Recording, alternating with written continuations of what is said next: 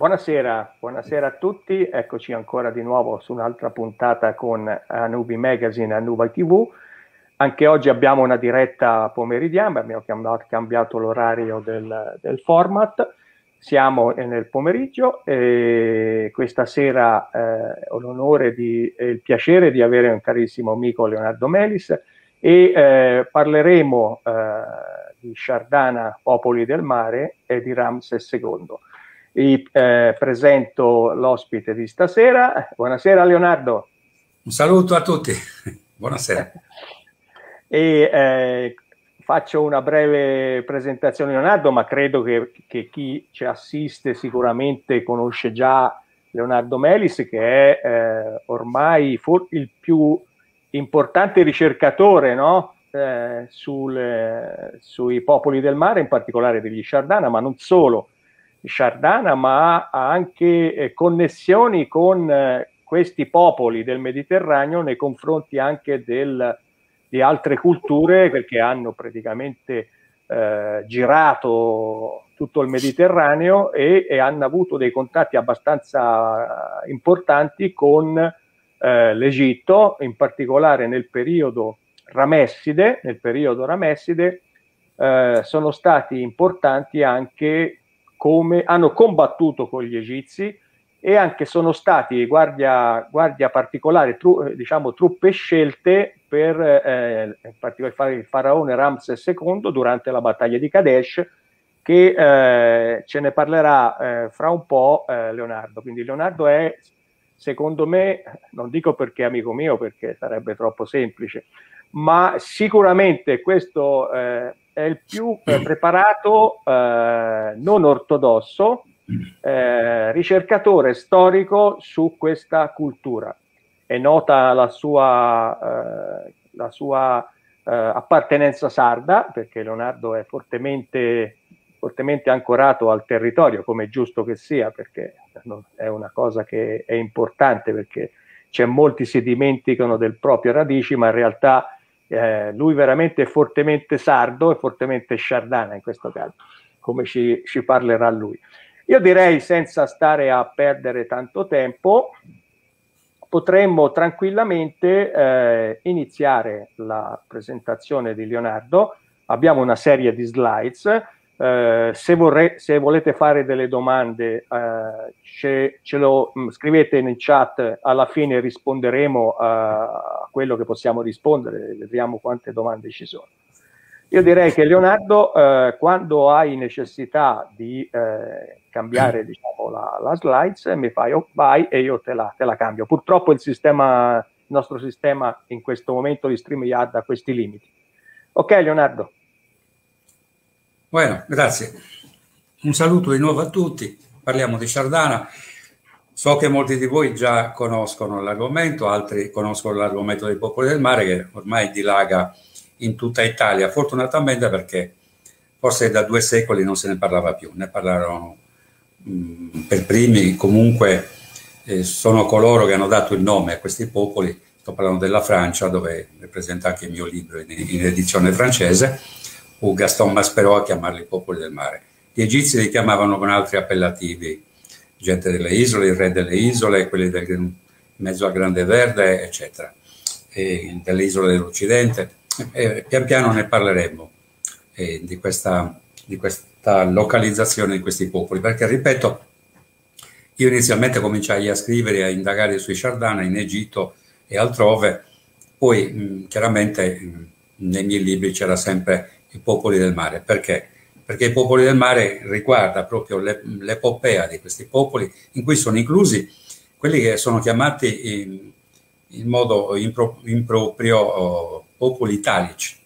Popoli italici non sono loro. L'Italia allora era solo una frazione dello stivale, eh, situata tra la Calabria e la Basilicata.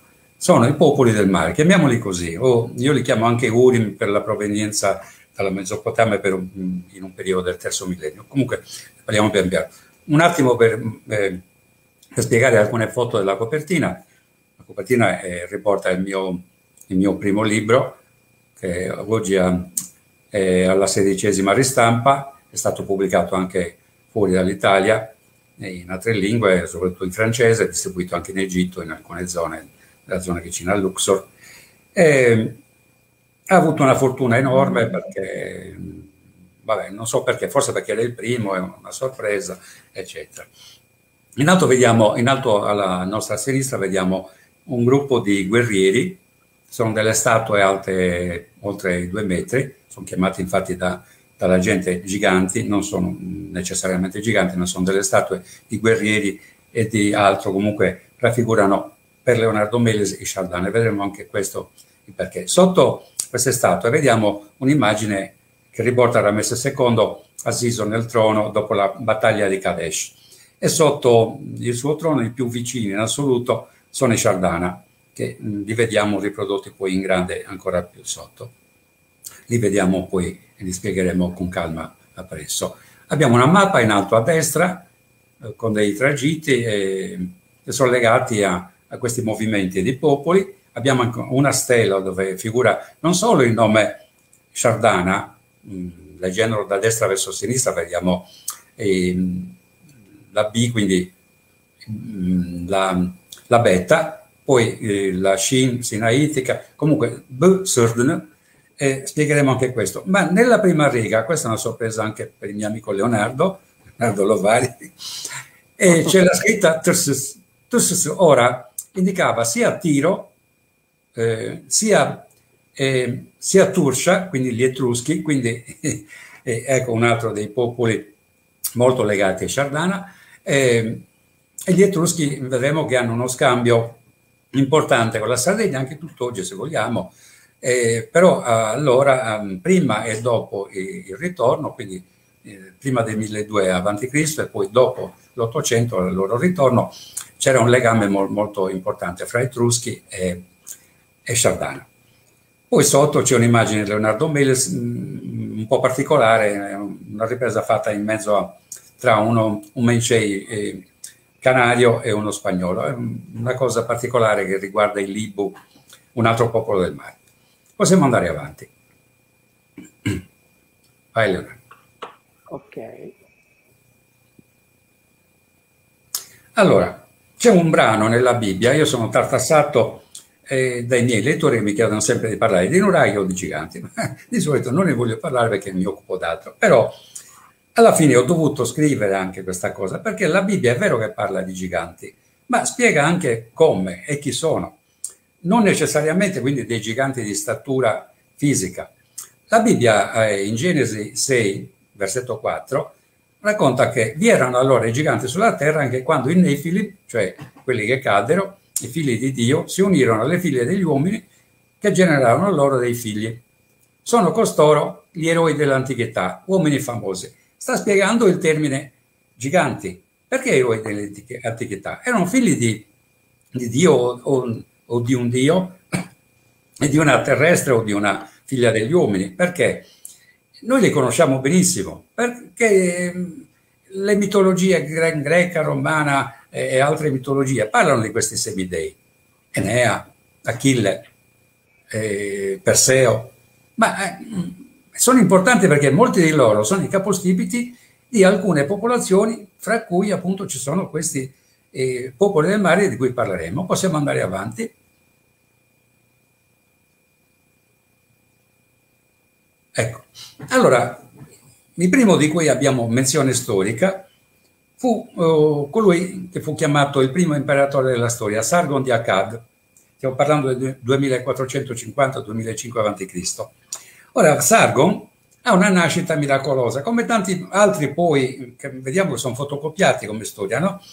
Basta pensare alla nascita di Mosè, alla nascita di Romolo, di Perseo. E come nasce Sargon? Sargon era figlio di un dio e di una vergine vestale, chiamiamola così, comunque una vergine del Tempio, c'è sempre la vergine del Tempio di mezzo, e il dio.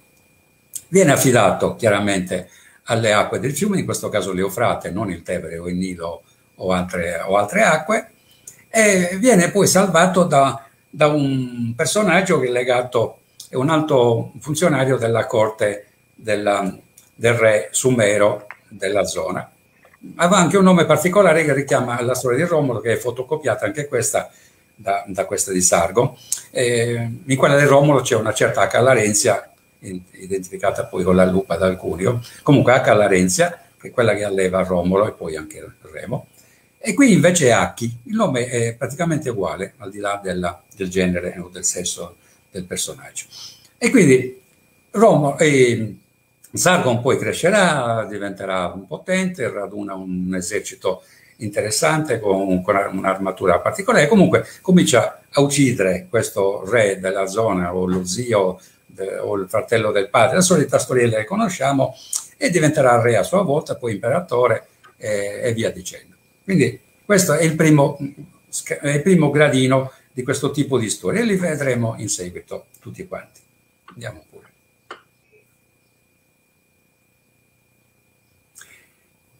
Allora, dopo il, il, regno di Sargon uh, c'è la caduta dell'impero di Akkad che lui aveva fondato. In seguito a una carestia durata 300 anni circa, qualcuno dice 200, qualcuno 400 addirittura, ci sono degli studi accademici in proposito che confermano anche 400, non so per quale causa, però la carestia durò diversi, eh, diverso tempo, quindi anche secoli, e i racconti mh, sumeri, dei stessi sumeri, e anche la Bibbia, occhio, perché io collego spesso la Bibbia ai racconti sumeri e non sono certo il primo a farlo, raccontano che la, la gente dalla Mesopotamia eh, dove fuggì? Fuggì in seguito a questa carestia, fugge verso il nord, si cercano posti più freschi e andò mh, nella fattispecie quelli, gli abitanti di Ur, ecco la, la storia degli Urim, gli abitanti di Ur, capeggiati da, da patriarca Terà, per mm, quanto riguarda la Bibbia e Tiru per quanto riguarda i Sumeri, partì verso la, una città gemella dove adoravano il dio Sin. Terà era il sacerdote del dio Sin, quindi non, non c'entra niente la religione ebraica, certo, anche se c'entra come discendenza, però non, non c'entrano ancora. Stiamo parlando di dei ancora, eh, chiamiamoli pagani. E quindi va verso questa, questa città che ritornerà ogni tanto nella, nella storia sia nella storia ebraica, sia nella storia di Israele, sia nella storia dei popoli vicini. Vanno ad Arran, vanno ad Arran e lì si insedieranno. La curiosità è che io ad Arran ho scoperto il fatto che ci sono queste costruzioni tutt'oggi che ricordano le tolos dei nuraghi, dei nuraghi, nuraghi in Sardegna, non solo in Sardegna, e, e, e al limite le tombe di Micene, con questa tolos uh, tipica che tutti conosciamo. Possiamo andare avanti.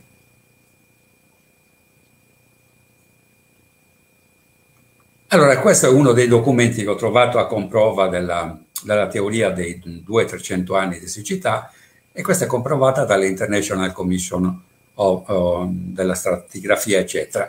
E praticamente mh, questi studi confermano il fatto che questa carestia riguardò anche l'Egitto, la Grecia, la Siria, la Palestina, la Mesopotamia, l'Indo, la Valle dell'Indo, eccetera, eccetera, uh, continuando in, tutto, in tutte queste, queste, zone diciamo, dell'Oriente. Quindi c'è una conferma storica, almeno, almeno, questa non è una teoria campata in aria da Leonardo Mels, che comunque anche le altre non sono campate in aria, le vedremo, è una conferma che volevo mettere. Grazie, andiamo avanti.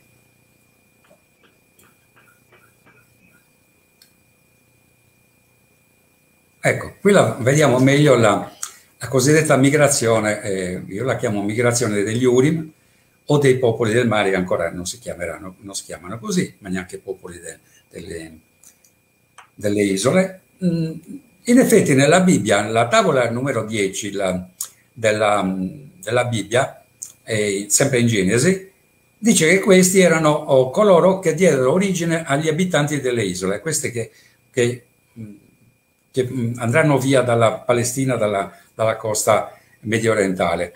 Eh, ma vediamo che loro c'è un tragitto particolare. La prima fuga, chiamiamola così, va verso il Mar Nero, quindi verso Arran.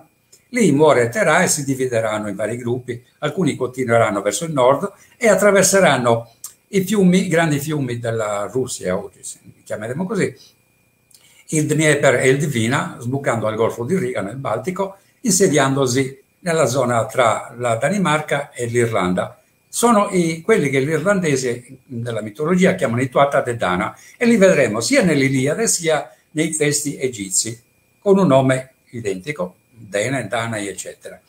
Poi mm, un altro, un altro, gruppo si dirige verso il Danubio, quelli, questi sono quelli che i romani chiamavano Galli o Celti, li conosciamo bene per le descrizioni che Cesare ne fa nel Debello Gallico, mentre un altro gruppo fa un'inversione verso la Palestina, è il gruppo che troviamo nella Bibbia con Abramo e Lot, che continueranno verso l'Egitto e stranamente Abramo viene ricevuto dal faraone e ospitato dal faraone. Una cosa, una cosa eh, non è strana, è una cosa che leggendo la Bibbia non si capisce perché, però leggendo la storia de, del personaggio Abramo, che qualcuno ha identificato in un personaggio dei testi sumeri, vediamo che lui era, era un principe, non era un ricco pecoraio. Lui si permette di sconfiggere quattro re mesopotamici con i suoi uomini, che erano i Narin. I Narin vengono dalla zona di Aran e sono quelli che ritroveremo a Kadesh che piombano alle spalle dei Littiti favorendo Ramesse II. Questo ve lo sto anticipando. Quindi questo gruppo di, che scende da, da Aran va verso la Palestina con, con Abramo, armeranno una flotta e si dirigeranno, vedete, verso l'Occidente. Questi la Bibbia li chiama nella tavola, nel capitolo 10, la tavola delle genti, li chiama coloro che diedero origine alle genti delle isole. Ci sono i nomi, ci sono i nomi dei, dei Libu, ci sono i nomi dei Peleset, ci sono i nomi dei, dei Shardana, eh, ci, sono, ci, sono, questi popoli. Vediamo che vanno verso occidente. I Peleset si fermeranno sicuramente a Creta, la Bibbia dice che venivano da Caftor, infatti, e li vediamo, e nella, nella terra, chiamiamola greca, si fermeranno i, gli Akayasa, quelli che Omero chiamerà Achei, qualcuno rimane nella penisola anatolica, i Jeker, che sarebbero i Teocri, quelli, gli abitanti di Troia, anche il Libu in un primo momento, però, cioè il Liku, scusate, il Liku. Poi andando verso l'occidente ancora abbiamo i Sacalasa in Sicilia, i Tuscia in un primo tempo, dice Erodoto, arrivarono ma poi non, non si trovarono bene e tornarono in, Mesop- in, in, Asia Minore. Poi abbiamo i Vasascia che sono probabilmente i corsi, chiaramente i Sardana che abitavano sia la Sardegna sia una parte meridionale della cosa che è una parte della Catalogna dove ancora oggi il ballo nazionale è Sardana ma ci sono delle, delle, delle province, delle zone, delle città, dei luoghi chiamati ancora Sardana o Sardana. Abbiamo anche i Libu che sono quelli che poi verranno chiamati cartaginesi e, e non piombatemi subito addosso perché sto dicendo veramente quello che è, perché questi popoli abiteranno intorno al, al primo millennio, fino al 1200 a.C., abiteranno il Mediterraneo. E poi andranno via per un motivo che fra poco spiegheremo. Quindi la situazione è questa, prima della famosa invasione del 1200 che farà crollare tutti gli imperi della, dell'età del bronzo, i greci dicono piomberà un, medio, un, medioevo antico di 300 anni, anche qui 300-400 anni durerà questa, questa cosa, anche questa la vediamo in seguito. Possiamo andare avanti. Allora, la stampa ufficiale, io qualche volta prendo qualche ritaglio di giornale, ogni tanto parla non solo eh, chiaramente delle teorie ufficiali o teorie di Leonardo Mese, ma anche quelle alternative. Quindi abbiamo tre presentate su Focus qualche anno fa. Eh, la prima è di Giambattista Lanfranchi, mi sembra si chiami Giambattista, professore universitario italiano. Lui praticamente parla soltanto della provenienza dei popoli del mare del 1200, dell'invasione del 1200. Quindi vedete in alto la, la cartina, eh, c'è una provenienza proprio dalle isole dell'Occidente verso l'Egitto e verso la, l'Asia Minore, quindi eh, Ugarit, eccetera. Quindi l'invasione dei popoli del mare, lui la documenta come l'arrivo dei popoli del mare, come la descrivono gli egiziani.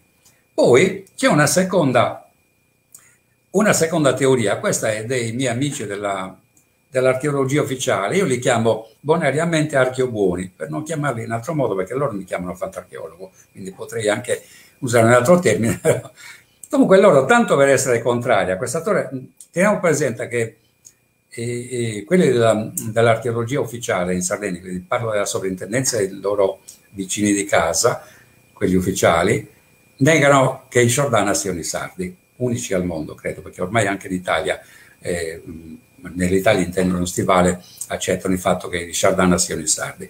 Quindi sto, stiamo parlando adesso soprattutto dei Giordani. Quindi loro nel 1200 li fanno arrivare in Occidente, cioè tutto quello che hanno scritto gli egizi loro lo ribaltano e raccontano che non vengono dalle isole dell'Occidente, ma possono anche venire da lì, però ci vanno nel 1200, va, contenti loro.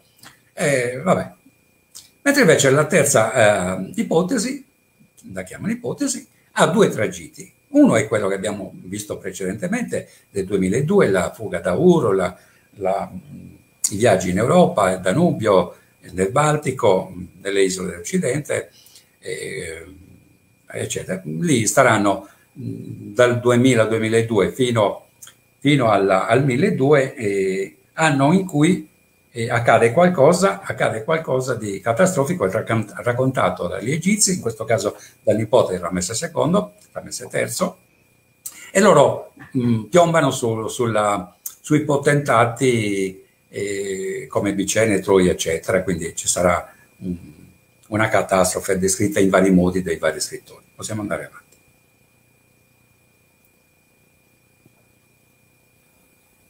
Allora, anche, anzi soprattutto, la, la, stampa estera, io ho fatto conferenze sia, sia, in Francia, sia in Svizzera, sia in Egitto, quindi tempo fa viaggiavo parecchio, anche perché si poteva di più e anche perché avevamo qualche mese in meno, qualche anno in meno, e Nexus mi dedicò in un primo momento dieci pagine sulla mia teoria dei sardi discendenti da Sumer. Mi fece molto piacere anche perché una una giornalista poi venne a trovarmi qui in Sardegna e gli fece un regalo di una scoperta eh, mia particolare in qualcosa che mi chiese, boh, ne parliamo dopo. E quindi eh, Nexus mi fece questo regalo, pubblicata, siccome io avevo già pubblicato il mio libro in Francia, quindi avevo fatto delle conferenze soprattutto nella zona di Marsiglia, nella Camarga, eccetera, e qualche giornalista si incuriosì e venne fece, fece questi articoli molto belli con, con dieci pagine, una cosa buona. Possiamo andare avanti. Allora, i popoli del mare. Perché erano potenti i popoli del mare? Intanto avevano, detenevano, soprattutto i Scialdana, ripeto, mi perdonerete se io ogni tanto puntualizzo il fatto, non, non perché sono sardo, ma perché sono gli egizi a parlare, eh, a documentare soprattutto questo popolo anche gli altri, però questo popolo per loro era talmente importante che ne fecero la, la guardia del corpo, ma non solo Ramesse II, addirittura già dai tempi di Tutmosis III e anche precedentemente, e, e lo vedremo anche questo documentato. Loro avevano il segreto della, della, del bronzo, che, sappiamo che il bronzo non è un minerale, ma è, ma una, è una lega che è composta di nove parti di, di rame e una parte di stagno c'è un, una, un veliero eh, del 1350 a.C. ritrovato in, sulle coste turche, adesso conservato nel museo di Uruburum, col carico intatto. Beh, c'è un carico di 10 tonnellate di, di rame e una tonnellata di stagno. Il tanto per armare un intero esercito, forse quello di Ugarit o di, o di Troia, o, di Atusa non credo perché allora avevano già il ferro, i titi, però era il quantitativo per armare un intero esercito. E loro avevano il segreto dello stagno, ma lo stagno in Mediterraneo non c'era, perché c'era in Mesopotamia e anche nelle, nelle zone ancora più, più, oriente. Quindi in Mesopotamia non avevano il problema di fabbricare il, il bronzo. Ma nel Mediterraneo mancava completamente, anche se c'era molto rame, ma mancava completamente lo stagno. Anche se molti oggi, ma in Sardegna c'è la cassiterite. Sì, ma l'hanno scoperta ieri sera ma e poi non è in, quelle quantità, quindi parliamo di tonnellate. E lo andavano a prendere in ehm, Dannonia, la Dannonia non è altro che la Cornovaglia, quindi avevano un tragitto a nord verso l'Inghilterra e un tragitto a sud, circonnavigando l'Africa e andando in Africa occidentale, entrando dai fiumi navigabili, allora ma anche oggi non lo so, dello Zambesi e dell'Impopo e arrivavano in quello che è il Great Zimbabwe, che è questo. Vedete che la, loro costruivano delle, delle, città fortificate per difendersi da eventuali attacchi di indigeni vari, eccetera, comunque stare tranquilli mentre estraevano i minerali, che non era soltanto lo stagno. E Great Zimbabwe è una città, la chiameremo nuragica se vogliamo, perché è costruita con questi sistemi. Ma perché eh, io insisto sul fatto dello stagno a Zimbabwe? Perché ne abbiamo le prove, possiamo andare avanti.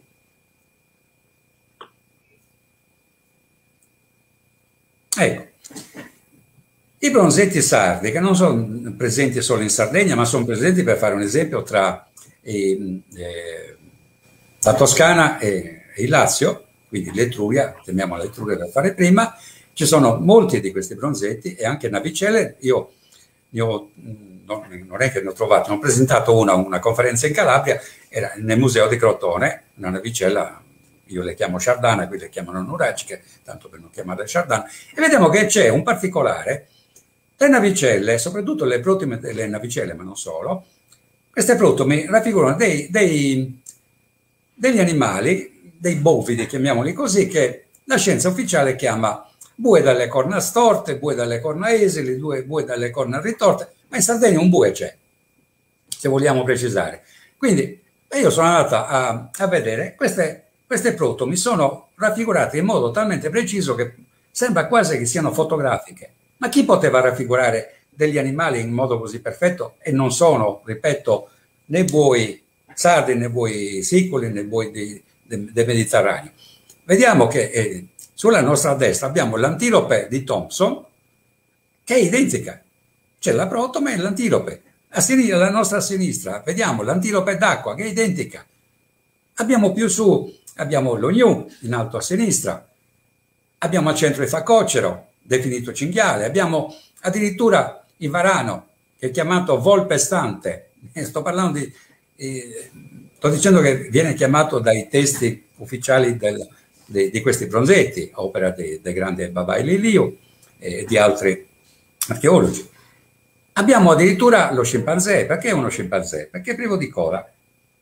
E I quadrumani eh, hanno la coda, solo tre di loro, o quattro se non erro, sono l'orango, il gorilla e lo scimpanzé. Mi pare che, che però ci sia anche una bertuccia che nella, nello stretto di Gibilterra, ne, al Gibilterra comunque, e, e alcuni esemplari sono privi di coda, ma questo comunque è, è, grande, è uno scimpanzé.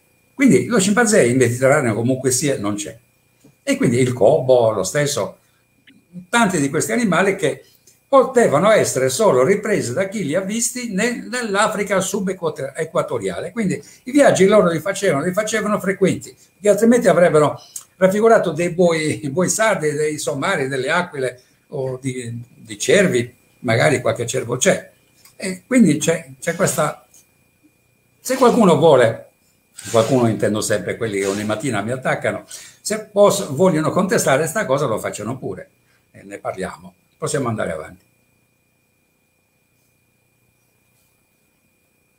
Allora, la presenza di, di Egitto in Sardegna è, è, inimmaginabile perché lo Spano, il canonico Spano, sto parlando di metà dell'Ottocento, del secolo del 1800, lui ne, ne ha trovato 4.000 addirittura, ma scarabei incredibili, con cartigli di, di faraoni. Ora, questi scarabei sono dichiarati scaraboidi di tipo Ixos, di tipo qui, di tipo... cioè sono, sarebbero fenici, perché il fenicio qui imperversa eh, non c'è niente da fare, sarebbero fenici eh, imitazioni di scarabei egizi. Ma io mi chiedo, perché i fenici avrebbero dovuto imitare gli scarabei egizi? Vabbè, se erano commercianti, ma, coi cartigli eh, se vuoi venderli in, in, questo caso in Sardegna, che bisogno c'è di mettere il cartiglio di un faraone come Menofis IV, di Tutmosis III, eccetera, quando uh, i sardi con gli egizi non avevano niente, niente a che fare. Sono scarabei egizi, con i cartigli dei faraoni conosciuti e ultra conosciuti. Ma ce ne sono 4.000, dico, al Museo di Cagliari, ma ce ne sono migliaia al Museo di Sassari e tanti altri. Possiamo andare avanti. Tra parentesi, qui, scusa eh, Leonardo, qui lo Spano mandò un telegramma, un, uno scritto a, allo Shabbat. Lo Shabbat, per capirci, insieme al conte di Roger, erano i primi studiosi dei popoli del mare nell'Ottocento, francesi chiaramente, e lui scrisse due righe mandando questi, questi grafici chiedendo sont-ils égyptiens? E lo Shabbat rispose laconico, oui, ils sont égyptiens. Quindi all'estero non abbiamo problemi, possiamo andare avanti. Allora, la Corsica, a proposito appunto della Francia, e in questo museo, il cui direttore ha il mio libro, chiaramente il mio primo libro del 2002, in Corsica, se voi andate in questo museo, stiamo parlando de, della zona vicino a Sartene, c'è una statua Sciardana, loro dichiarano Sciardana, c'è un cartello all'ingresso e li chiamano Torren Sciardana proprio, e, loro, e i corsi dicono che vengono dall'isola di Sardegna intorno precedentemente al 1200, quindi li stanno oh, definendo Sciardana. Questo, questo, che ha anche ancora un corno è uno Sciardana, perché però loro dicono che questa statua è uno Sciardana? Perché ne hanno la copia Medina Tabu. Andiamo avanti. Ecco, questa è una scena. Sapete che Medina Tabu, il nipote di Ramesse III, di Ramesse II, fece descrivere, anzi lo fece il, il figlio, ma mh, il faraone era lui durante questa battaglia, fece descrivere la battaglia del Delta, qui sono rifigurati Sardana da una da, dall'altra parte e, e, tutti i popoli del mare schierati in combattimento, eccetera. E, e lo fece eh, scolpire in, in bassorilievi nella, mh, nei muri esterni di Medina Tabu. Io, mh, io sono stato diverse volte in Egitto, ma eh, i primi viaggi che io facevo erano di curiosità. Il viaggio, diciamo, l'ultimo, quello del 2009, è quello più documentaristico, ma avevo in mente altre cose di un tempio che avevamo scoperto, ne parliamo dopo anche di questo, però voglio dire, è a Medina Tabo comunque questa, questo bassorilievo, ne vedremo anche. E vedete che la corazza è identica, non a quella sotto, ne sono due di, statue, ma quella sopra con l'elmo, è identica. L'hanno messa in discussione addirittura l'archeologia sarda ha chiesto una mano a un noto geologo, eh, egittologo, è venuto qui in Sardegna dicendo che tutto sommato questo potrebbe non essere simile. Si è prestato un po' al gioco. Mi dispiace per lui perché io lo, non dico che lo ammiro, ma lo rispetto riguardo agli altri che lo accompagnano. Vabbè, è un egittologo e non un archeologo della sovrintendenza. Sto esagerando, andiamo avanti. Allora, Stato di Montebrama, non ne parliamo oggi, ne parliamo solo per un motivo, questa storia del Gonnellino. Posso però accennare che io scrivevo delle statue di Montebrama ai primi del 2000, prima che le mandassero finalmente a centro restauri a Punti nel 2005, eh, poi dove stettero ancora altri anni, e intorno al 2010-2012 le, le, esposero una parte a Cagliari e una parte a, Orist- a Cabras. Queste statue perché sono famose? Perché non solo raffigurano di Sciardana, ma questo riguarda me, ma soprattutto perché sono, ribaltano la, la, storia della statuaria mediterranea che era attribuita ai greci nel 680 a.C. E questa, mh, questa attribuzione ai greci è dovuta al fatto che non c'erano altre statue in giro, a tutto tondo intendo, non raffigurazioni di bronzetti o roba del genere. Queste statue alte 2,2 metri e io le ho datate al XIII secolo, una trasmissione spagnola tipo quella che fa Giacomo in Italia, e con, con, confermò con questa trasmissione che ho registrato eh, lo gigante Chardin del XIII secolo per farla corta, quindi hanno dato retta a quanto io scrivevo e sono importanti. Però tornando al discorso del gonnellino, vi vedete che alcuni di loro hanno questo gonnellino a punta che non, è, non ha niente a che fare con i gonnellini sardi che sono circolari, che sono tipo quelli celtici. Questi hanno un gonnellino a punta che ci ricorda qualcosa. E cosa ci ricorda? Andiamo avanti.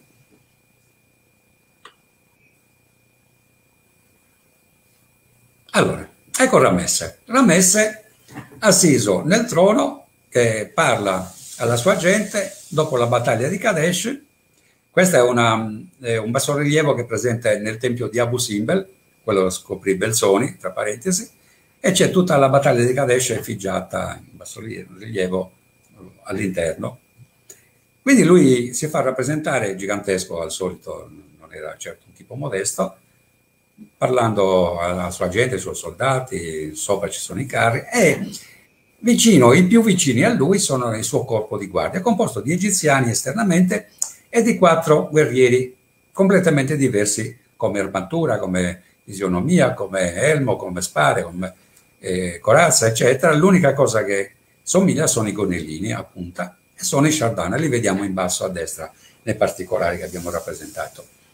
E a differenza di altri Chardana presenti in Egitto, questi hanno il disco solare sopra l'elmo, che è sempre l'elmo cornuto, che era tipico solo esclusivamente dei Chardana. Allora, sono stati probabilmente i primi, salvo qualche rappresentazione rappresentazione di divinità che è raffigurata comunque con le corna, ma questa è una divisa di, di, un esercito, perché ogni popolo del mare ha la sua uniforme, alcuni li vedremo man mano che andiamo avanti. Ecco, questa è la raffigurazione della guardia del corpo di Ramesse. Ramesse deve ton, tanto ai Shardana perché li salvano il cadreghino, diciamo, a Kadesh, dove lui dice di aver vinto ma non ha vinto. Andiamo avanti. Allora, qui eh, questa è l'ultima spedizione. È importante mh, mm, questa storia, questa è una cena di gala lungo il Nilo, ospiti del governatore di Luxor. Eh, era una spedizione che io riuscii a fare grazie a una mia amica che penso che stia tuttora in Egitto e comunque collabora con alcune, alcuni programmi prima della RAI, poi di Mediaset, collabora con, con queste trasmissioni. Lei riuscì a, a convincere alcuni di questi della, dell'amministrazione della regione a partire con noi, diciamo, erano ospiti del governatore. E perché questa è una cosa importante? Perché ci diede la possibilità di andare in modo sicuro, perché avevamo la scorta, avevamo un autoblindo appresso, viaggiavamo con macchine con ragazzi armati di pistole. Comunque era un periodo difficile, cominciava a esserci qualche problema. E io scoprì un tempio, non ne parleremo chiaramente stasera perché me l'hanno chiesto in diverse trasmissioni esoteriche, quelle cose lì, perché scoprì delle cose che legavano a Dendera. Tant'è vero che i, le prime esplorazioni furono a Dendera per, per, altri motivi e poi saltò fuori questa storia. Andiamo avanti. Ecco, qui siamo in viaggio, risalendo il Nilo, mm, andando nella zona, non ricordo se, se Dendera o adesso non ricordo se a Deir el Medine. Comunque, in uno di, di, questi, di questi templi, uno dei quali era un tempio un po' particolare. Andiamo avanti. E qui siamo a Dendera sicuramente, dove poi saltò fuori la storia dei, dei misteri di Osiride, i legami con, la, con le lampade del, del, del, sotterraneo, dove andammo a vedere, adesso penso che sia chiuso, dove sono presenti le lampade scoperte ai primi del Novecento eh, perché ancora a Dendera? Perché c'era, c'era un motivo ancora, ancora, importante, perché noi stavamo viaggiando da Medinet Abu su l'intenzione di risalire ancora più su, più a sud verso Abu Simbel, andiamo avanti.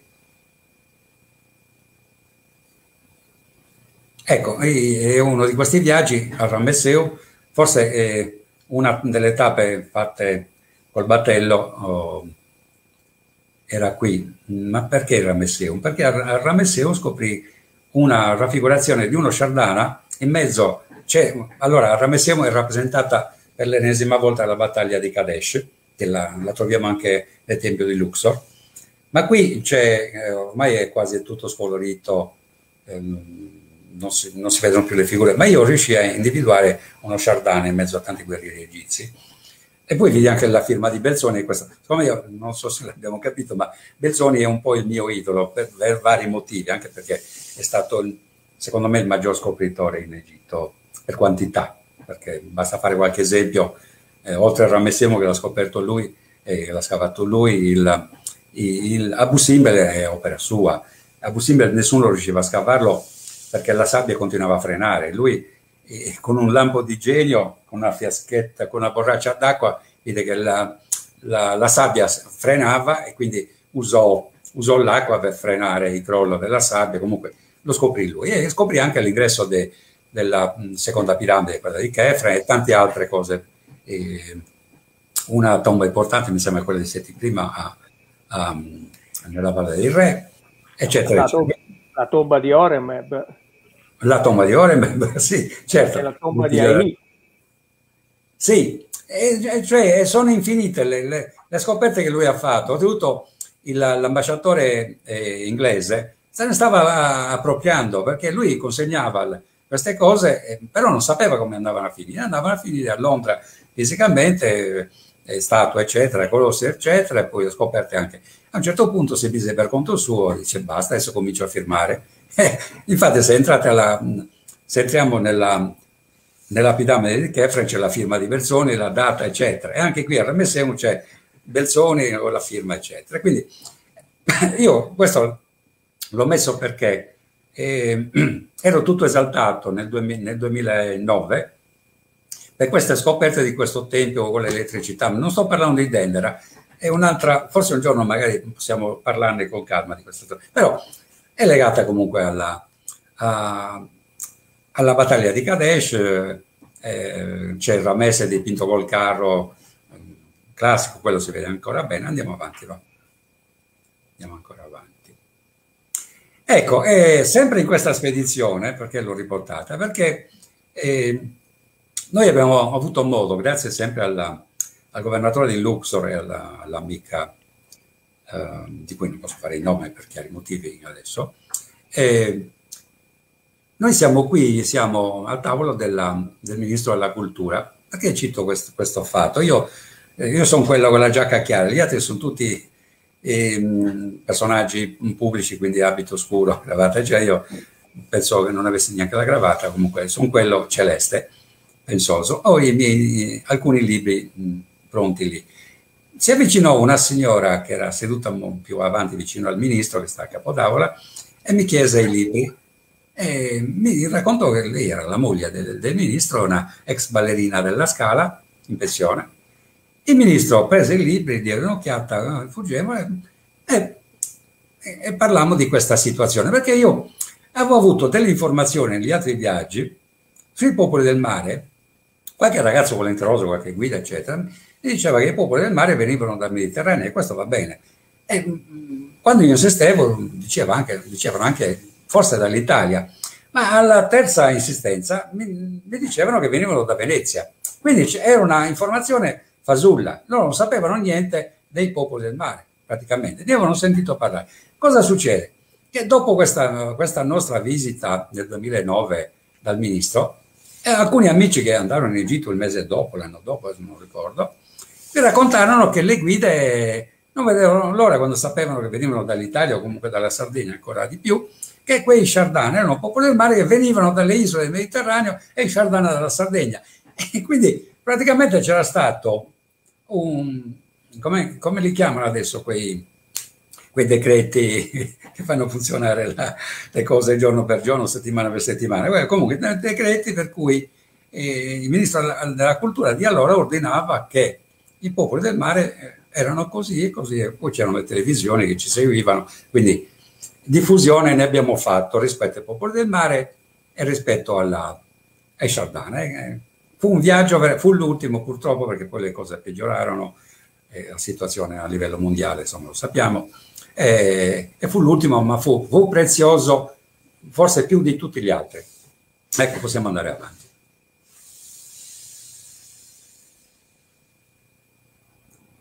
La battaglia di Kadesh. Allora, la battaglia di Kadesh intanto è raccontata dal poema di Pentaur. Era uno scriba, Pentaur, e la racconta, qui abbiamo fatto un sunto breve, non elenchiamo neanche tutte, tutti gli schieramenti dall'una e dall'altra parte, però diciamo è la cosa più importante. Praticamente cosa accade? Ramesse che vuole riconquistare Kadesh, perché Kadesh era stata prima dell'Egitto, ai tempi di Tutmosis III, il, il, il Napoleone d'Egitto, come lo chiamano gli studiosi, poi questi territori furono persi nel periodo di Amenofis IV, per capirci, Amenofis IV è Akhenaton, non lo sappiamo, il faraone eretico, che non faceva guerre nelle campagne militari né niente, era Messa che era un, un giovane guerriero a, a, questi tempi, stiamo parlando del 1270 circa, Cristo, e fece questa spedizione con, con quattro divisioni, quindi circa 20.000 uomini, di cui due terzi, o i, sì, due terzi circa erano composti di mercenari di varie estrazioni.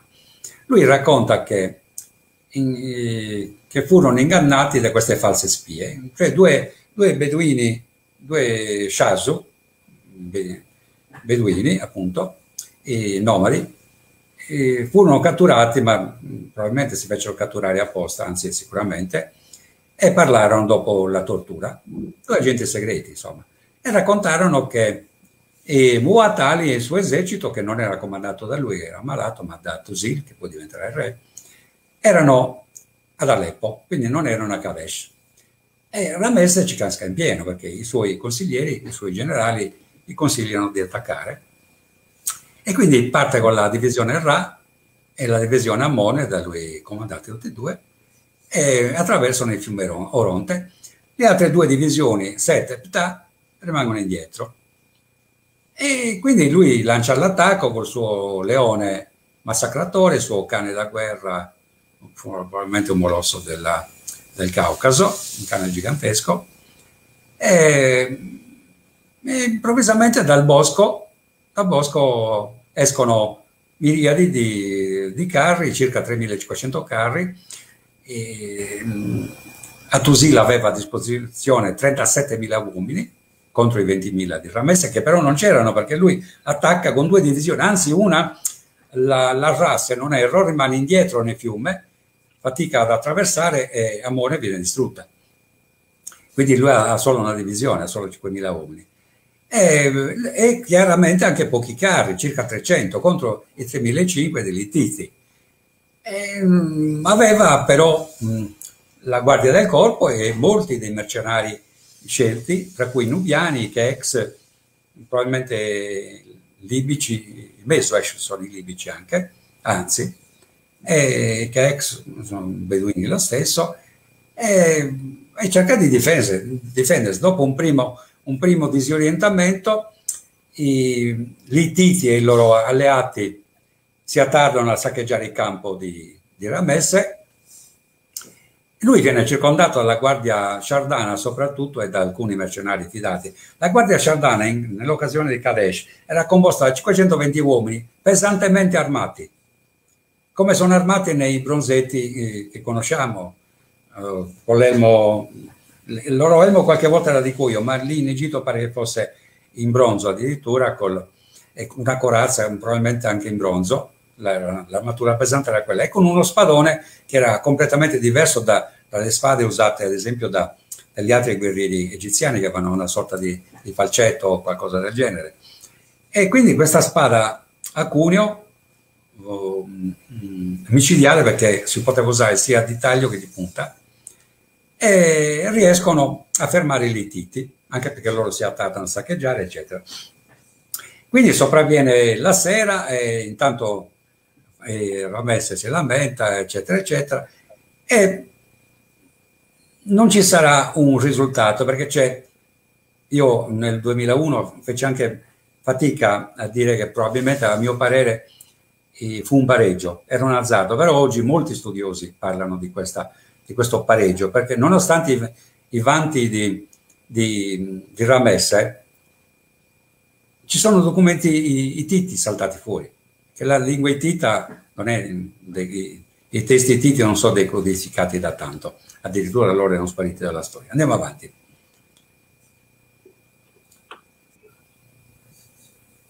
Praticamente la cosa è, è confermata da un trattato di pace, il primo della storia, che esiste in Egitto, chiaramente sta redatto in papiro, ma esiste anche eh, da parte Tita. E questo è quello della partitita, è conservato al Museo di Istanbul. E fu un trattato voluto assolutamente da due donne. Oggi pensare all'antichità con, con un trattato internazionale affidato a due donne, ma non è che l'hanno stampato loro, fu un'idea di Puduepa, che era la moglie di, non penso di Muatali, ma di Atusil, perché Muatali pare che muoia immediatamente dopo Kadesh, il trattato si stipula qualche anno dopo e chiaramente la Nefertari, la moglie, la, la grande sposa di, di, Ramesse. E quindi viene firmato questo trattato da ambo le parti, in due lingue, eh, per evitare attacchi da parte degli Assiri, che era la nazione emergente come nazione pericolosa. Purtroppo avevano fatto male i calcoli, sia gli Titi che Ramesse, perché il pericolo non arrivava dagli Assiri, arrivava da Occidente, lo vedremo.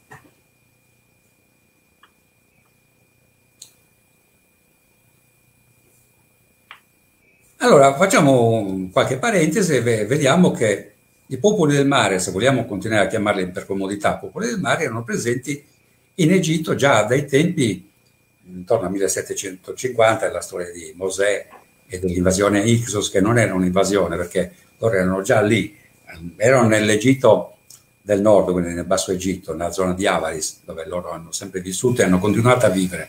Non è vera neanche la, la storia della cacciata degli Ixos nel 1550, opera di quei due fratelli. Comunque, Giuseppe, eh, raccontato dalla Bibbia, lui e suo padre Giacobbe eh, hanno dei nomi, dei nomi egizi.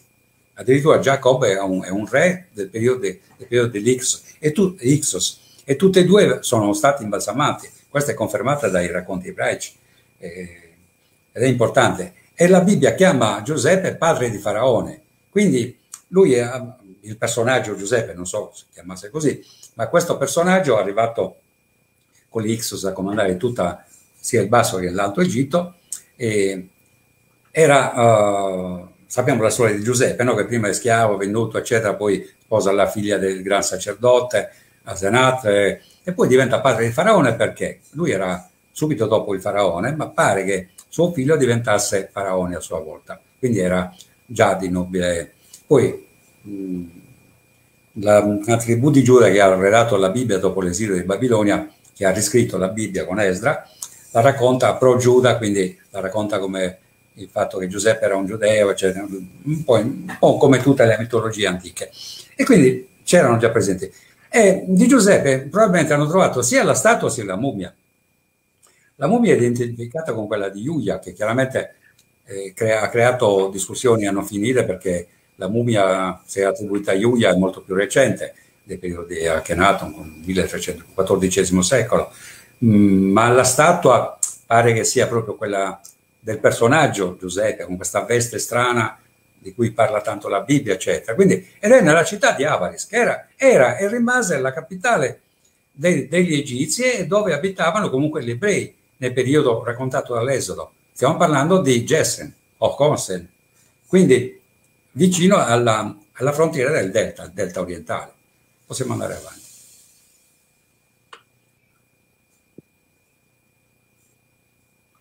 E adesso rasentiamo un po' il discorso, ne parlavo ieri con, con te Leonardo, che rasentavamo la storia di Mosè, ma non ne parleremo, non ne parliamo perché... Parleremo una, in un'altra puntata, vai. Sì, se voi, se volete, sì, eh, sì, sì, sono felice di farlo perché c'è tanto veramente. Eh, ci ho scritto due o tre libri sopra.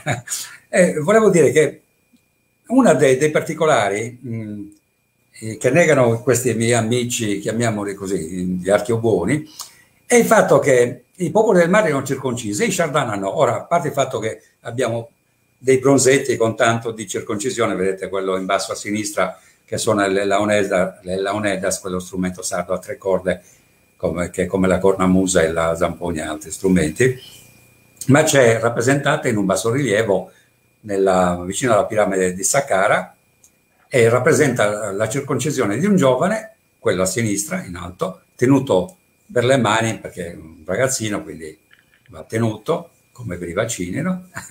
e a destra la circoncisione di un adulto che spavaldamente poggia la mano sul, sulla, sull'infermiere che gli sta facendo la circoncisione, ma è datata a 2450. Quindi non è eh, Mosè, il Mosè è quello dell'Esodo che ha, ha inventato la circoncisione, permettetemi questo accostamento su, su volere di Dio, i popoli del mare erano già circoncisi, abitavano l'Egitto eh, anche in questo periodo e comunque in Egitto c'era già la circoncisione, quindi casomai il popolo di Mosè lo apprende da Mosè perché era egizio Mosè. Ecco, adesso l'ho detta. Vabbè, andiamo avanti.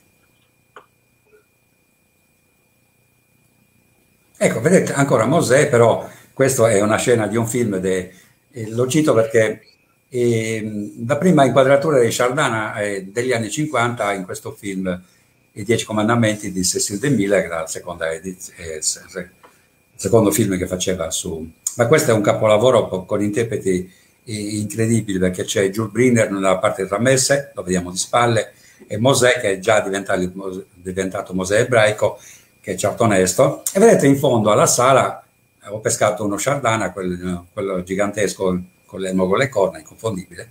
Ma all'inizio del film ci sono alle spalle di Seti I, eh, Ramesse non è ancora faraone, anzi sta per diventare Mosè, alle spalle di Seti I, del padre di tutti e due, e ci sono quattro giganteschi Shardana armati di tutto punto. Quindi quel film E poi parla di, dei mercenari di Seti I, anzi di Ramesse, che inseguire, inseguiranno Mosè e li chiama mercenari sardi. Quindi è una conferma anche del fatto che i Sardana sono sardi. Vabbè, possiamo andare avanti, scusate di questa, questa roba di, cinematografica.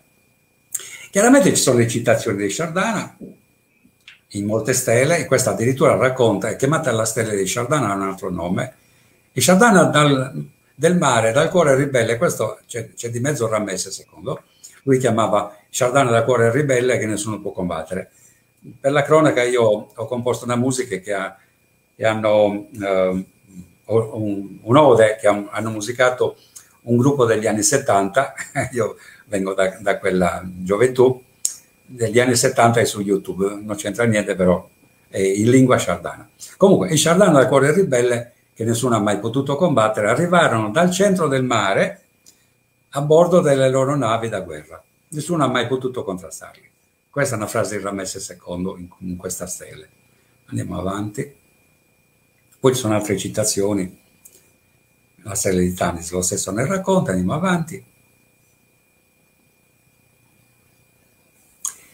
E qui abbiamo una mappa, una mappa dell'invasione dei popoli del mare, perché se la battaglia di Kadesh è chiamata la battaglia, la prima guerra mondiale per lo schieramento di, dei tanti eserciti che c'erano, qui abbiamo una seconda guerra mondiale che è molto più imponente. Perché? Perché riguarda tanti racconti che noi abbiamo letto, anche grazie ai greci e altri, altri popoli, e anche gli egizi chiaramente, che noi abbiamo letto raccontate in modo non ingannevole, ma con con nomi che non, non, ci parlano dei popoli del mare, o meglio, ce ne parlano ma no, non le riconosciamo.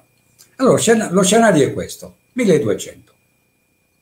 Succede qualcosa, la racconta bene Ramesse III, il nipote di Ramesse II, nel papiro Harris. Raccontate, i popoli del mare fecero un patto nello, nelle loro terre, quindi non fu un'invasione barbarica con le famiglie, eh, tipo le invasioni de, del tempo della caduta dell'impero romano, no, fu ognuno con le sue divise, sono, sono eserciti potenti, ben, ben, distinti fra loro, ma comunque della stessa etnia, si capisce, non è una semplice alleanza, e li vediamo che sono alleati fra di loro e hanno fatto un patto fra loro. Cosa avevano fatto? Praticamente questi prestavano servizio non solo per gli egizi come Sciardana, ma con, con gli egizi c'erano ad esempio anche i Libu, c'erano i, i, i Jacker. C'erano altri popoli del mare che militavano con, con gli egizi e anche con gli Itizi, anche con altri popoli. Prendiamo Troia, ad esempio, nel racconto di Omero, che un po' è mascherata, ma non tanto. Poi abbiamo una, una, un racconto che parla di Achille, che è una caiasa, quindi veniva dalla penisola greca, ma è un acheo a caiasa. Achille, quando Agamennone pretende di portargli via la schiava Briseide, perché il, il consenso dei re ha deciso di portarli via la figlia di Crisa, sacerdote di Apollo, per cui Apollo scatenò la, la pestilenza con, suo, con, le sue frecce, Achille sfodera la spada e sta, andando, sta piombando su Agamennone e farlo fuori. E dice che lui non si prenderà un niente. Ha un atteggiamento che già, già non è da, da, generale di un esercito comandato da, da generale dei generali, in questo caso Agamennone, e quindi di una nazione che comanda vari eserciti. Allora, lui viene fermato dagli amici piuttosto che da, da, da Minerva o come diavolo si chiamava, però dice ad Agamennone, trattenuto dagli amici, altrimenti lo sbudellava davvero, faccia di cane, tu, tu a me non rappresenti niente, io non sono qui per combattere contro i Jacker, contro i, i troiani, Teocri, che a me non mi hanno fatto niente, sono qui perché sono un uomo di guerra. Quindi sta parlando da mercenario, che è a servizio di di Agamennone in quel momento, raccontato da, da Omero in quel modo, eccetera. Però è un mercenario. Allora, quindi questi si mettono d'accordo, fanno un patto e a cominciare dai Denen, citati dagli egizi a fianco ai Sardana, perché io nel primo libro feci un errore clamoroso. Nel raccontare la guerra di Troia, che è una, un fatto di famiglia, quindi ci sono tutti i popoli del mare a Troia, da una parte e dall'altra, nel raccontare questa cosa, Pensai che i Danai, descritti da Omero, non erano i greci, e non lo erano comunque, ma erano i Sardani. Invece no, erano i Denen, che gli egizi identificano in quei Dene che erano andati nel Baltico. Allora cosa accade? I Dene scendono con la loro flotta, i Dene, i Vasascia e forse i Pelesette e i Sciardana avevano loro le navi. I Dene fanno un tragitto o via fluviale come ho messo lì, oppure passando dallo stretto di Gibilterra, entrando nel Mediterraneo e insieme ai Turcia, ai Vasascia, ai Sciardana, ai Libu, Sciacalasa del Mediterraneo occidentale, anche i Licu, immagino fossero i Liguri, si incontrano probabilmente o a Creta o comunque nei pressi della, della Grecia. Perché? Perché il loro obiettivo primario era Tirinto e Micene, che sono le prime città dove le, le rocche vengono distrutte. Loro non avevano sotto tiro i, le città, avevano le rocche, il comando, quindi fanno fuori vari agammeno della situazione, eccetera, e cosa fanno? Proseguiranno insieme agli abitanti di Vicene, Tirinto, eccetera, quindi gli Acaiasa, gli Achei, e qui la cosa di, Om- di, di, Omero è veritiera perché vanno verso Troia, quindi gli Acaiasa ci sono, ma i, gli studiosi raccontano che in quel periodo la Grecia tornò a un quinto della popolazione, quindi vanno via, gli Acaiasa vanno via come tutti gli altri popoli, abbandonano il Mediterraneo e proseguono dove? Stavolta verso Ilio, Troia, dove si svolgono tutti questi fatti come le racconta Omero o quasi, e vediamo che ci sono ad esempio i Licu, quindi i Lici di, di Sarpedone, eh, Sarpedonte e, e, Glauco. Ci sono i Dardani di Enea, che abitavano la zona vicina ai Dardanelli, le isole da cui partirono per invadere Creta nel 1450. Ci sono i Jekker, che sono i Teucri. Ci sono gli Acaiasa, che sono gli Achei. E ci sono una parte, descritte da Omero, ci sono una parte dei popoli del mare. Una volta distrutta la rocca di Agamennone, escono, vanno via. Non ci fu la fuga dalla città incendiata e lo vediamo anche perché. Enea, che è uno dei, dei Dardani, non è un troiano come ci ha raccontato Virgilio, ma è un Dardano, va via con loro.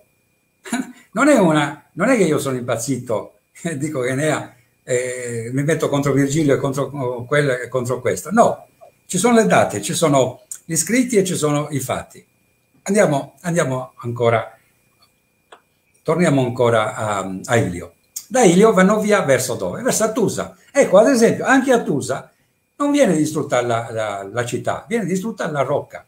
Ed è stato confermato qualche anno fa di questa cosa strana che non si capisce perché, gli studiosi non capiscono, perché e la città di Attusa non è distrutta, ma la rocca, la fortificazione soltanto è incendiata e rasa al suolo per questo motivo, perché anche i littiti erano dei loro popoli del mare, infatti si uniscono a loro. E anche i littiti noi li ritroviamo dove? In Palestina. Ma perché da Tusa proseguono verso le città del, di Canaan, quindi eh, Tiro, Sidone, Biblos e, e, e, tutte, e, tutte, quelle città, per poi proseguire verso l'Egitto. Con una tappa, ma penso solo una parte di loro, perché io non ho trovato né Sardana nell'Ibu a, a Ilio, a Troia, nella guerra di Troia di Omero almeno, e quindi pensò che attaccassero Ugarit. Ugarit viene distrutta nel, 1100, eh, nel 1180, mi pare, in una giornata senza sole. C'era un'eclissi, quindi abbiamo anche l'ora e il mese, se vogliamo. Ce l'abbiamo comunque. Comunque da, dalla Palestina proseguono verso l'Egitto e lì ci sarà la battaglia, andiamo avanti, ci sarà la battaglia, due battaglie Ecco, questa è la descrizione eh, francese. La, la striscia eh, azzurra è quella delle navi, con puntata a Ugarit, e quella marrone è quella degli eserciti di terra. Scendono, poi vanno verso l'Egitto, eccetera, lì eh, si confrontano. Questa, questo fatto, questo mettersi d'accordo che racconta Ramesse III nel Papiro Ares, era dovuto a un sollevamento del mar Mediterraneo, tutto il mare Mediterraneo, di due metri e mezzo. Eh, ma cosa vuoi sia due metri e mezzo? Sì, ma due metri e mezzo di sollevamento del mare, repentino voglio dire nel giro di qualche mese, non di secondi, forse di un anno o due, vuol dire penetrazione del mare di 30 km nella terraferma, chiaramente nelle pianure, e quindi inquinamento delle falde acquifere, dei campi, non si poteva più vivere, tutto il Mediterraneo, quindi questi hanno deciso di di invadere l'Oriente, questi piccoli potentati in cui loro comunque erano quelli che facevano comunque loro la guerra, quindi l'invasione è stata facile. Andiamo pure avanti.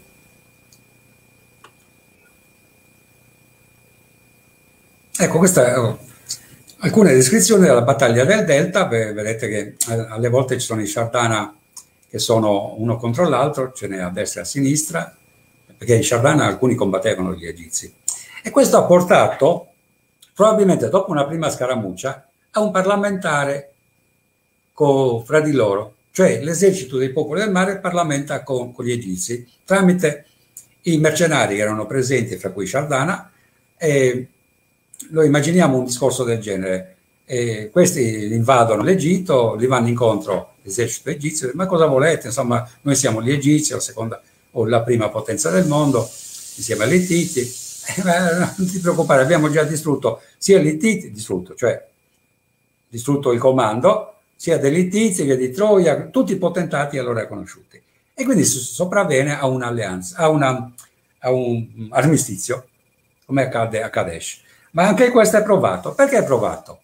Perché noi, dopo questa data, stiamo parlando del 1180, quindi in Egitto arriviamo nel 1180, noi non troveremo più un soldato egizio in, in Palestina o in Israele o nei racconti dell'entrata del popolo, del popolo di, Israele, di Israele o di Giuda o popolo comunque di Mosè, non incontrano un egizio, nessuno si scomoda a parlarne, non ci sono più presenze, presenze egizie, nella, nelle province dell'impero. Quindi Ramesse III si accontenta di salvare il trono, quindi il regno, ma dovrà uh, abbandonare le province di, della Siria, Palestina, del Sinai, le miniere quindi anche, che saranno popolate, da, in, eh, popolate dico bene, dai, da questi popoli del mare. E anche di questo abbiamo le prove e le scritte. Andiamo avanti. Eh, questa è un'altra scena. Vedete comunque una curiosità, ma non ne parliamo oggi. Tutte le navi dei popoli del mare sono senza remi e tutte le navi egizie sono con i remi. Non è un errore del, dello scultore che l'avrebbe uh, tagliato la testa immediatamente, ma c'è un motivo. Probabilmente questi signori, se torniamo un attimo indietro, Leonardo, scusa, c'è stato un ingegnere di Cagliari che ha studiato questa mia supposizione. Vedete quel grafico che c'è in alto eh, c'è una nave egizia con i remi e una nave dei popoli del mare senza remi. Probabilmente andavano a vela, come chiamarla, vela moderna, cioè andavano senza remi. Conoscevano già l'idea della vela moderna, che poi è scomparso come altre scoperte nel Medioevo antico. Andiamo avanti, di due. Avanti ancora.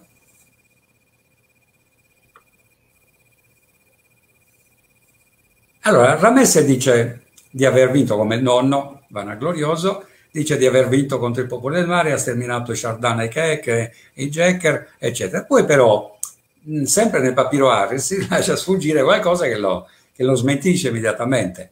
Io ho consentito all'esercito da guerra e ai carri di stare fermi, parla dei suoi, e anche ai mercenari Chardin e Kek, quindi ancora i mercenari, di stare sdraiati sulla schiena nella loro, nelle loro città che io li ho dati insieme a, um, vestiti, eccetera. Il, lo scritto è lungo, però dice questo. Lui praticamente come il padre, il nonno, Merempta il padre, il nonno Ramesse II e altri, li ha soldati. Non tutti, ma alcuni, perché altri li troviamo, andiamo avanti, dove? Vabbè, questo è uno Chardin per smentire una dichiarazione di questo amico geologo che è venuto a dar manforta agli, agli archeoboni, perché praticamente i bronzetti sardi sono diversi da questo Chardana che ha sia la barba che l'elmo col disco solare sulla testa. Poi però avevano, avevano appena raccontato che il disco solare ce l'aveva solo la guardia, la guardia scelta, che è vero, ma questo è uno degli invasori, perché ha il disco solare? Vabbè, non è curiosità, andiamo avanti. ecco, ah, questa è, è interessante perché è confermata dagli scritti egizi. Noi abbiamo in Israele soprattutto, e parlo di Israele come regno del nord, non sto parlando degli ebrei come ebrei in genere, in cui si intendono i, quelli della tribù di Giuda, al massimo quella di Simeone. Parliamo della, del regno del nord, di Israele, che è stato alleato con il regno di Giuda, un periodo però poi dopo Davide e Salomone tornano comunque a stare contro loro. Beh, gli egizi in primis raccontano che lì c'erano Shardana, Shardana ad a San Giovanni d'Acri, la, la, la, città dei Templari, che ha avuto una storia anche nelle, navi di Tarsis di Salomone, lì salpavano per andare per, andare per i viaggi di tre anni um, a Ofire e altri, altri, altri, altri luoghi. C'è Sacalasa.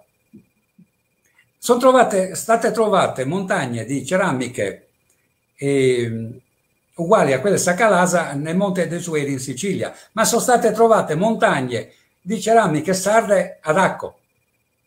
Acco e San Giovanni d'Acri, dove il libro di Deborah racconta che abitavano in Sardana, che abitava la tribù di Dan in questo caso.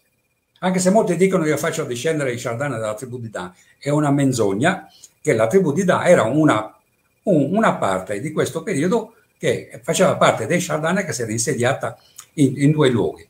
In un primo tempo vicino ai Pelesette, in un secondo tempo lì ad Acco e un po' più su alla la zona appunto della tribù di Dan, sopra il Sacalasa, poi abbiamo i Jecker ad Or.